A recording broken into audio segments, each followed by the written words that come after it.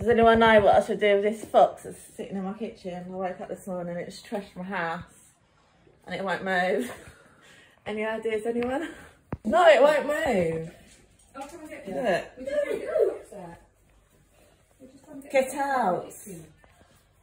What am I going to do with a bloody fox? Get this out on my phone. No. Ooh, he likes it. he likes it. Just pick it up. Does with bear. Pick it up because it's trashed my whole house. Come on, Mason. I was the This is the results of a fox being in your house. It's shaking. It's going to pop. Go on. Bear, come here. Bear. Oh, is this what it's done? Yeah, it's trashed the house and the lounge. Chasing the, chasing the dog. Can you just pick it up? Yeah, I, I thought it was a dog that's playing up last night. So that, Bite you. just pick it up.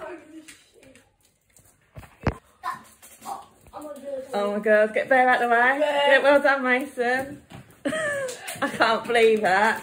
Bear, get in.